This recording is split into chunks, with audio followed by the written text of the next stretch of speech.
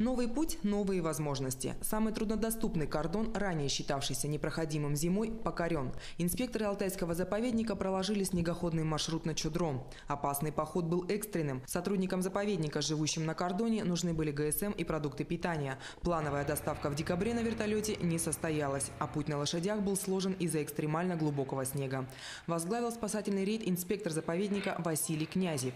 Груз был немаленький – 50 килограмм муки, 20 сахара, коробки с продуктовыми наборами и 20 литров бензина. Все уместили на трех снегоходах. Опасный путь начался со спуска в каньон реки Чулушман, который, кстати, не планировался, так как борт каньона очень крут. Перепад высот около километра, спуск нереальный. Однако риск был оправдан. Участники все же добрались до Чудро.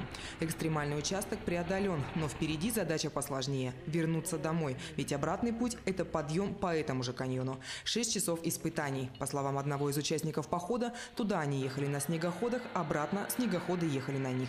Работа в экстремальных условиях для госинспекторов – дело привычное. Поход на Чудро был опасным, однако все трудности были преодолены, а поставленная задача – доставить груз – выполнена. Кристина Бандура, Вести, ЛЛТ.